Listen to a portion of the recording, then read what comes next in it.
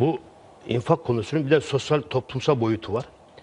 Topluma müşkül duruma düştükleri vakit bu müşkül durumları ancak infakla aşabilir. Öyle değil mi Öyle. hocam?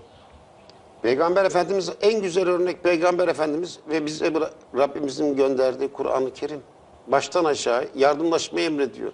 Cömertliği em- emrediyor. Sadece cömertlikte değil, sevgide var infak. Selam verme unutan bir toplum olduk. Başımızı kumun içine saklayıp aman beni görmesinler diye sağa sola kaçanlardan olduk. Aslında bu değil ki İslam. İslam bize anlatıldığı gibi bir terörist dini değil ki. Baştan aşağı bir sevgi, baştan aşağı bir cömertlik.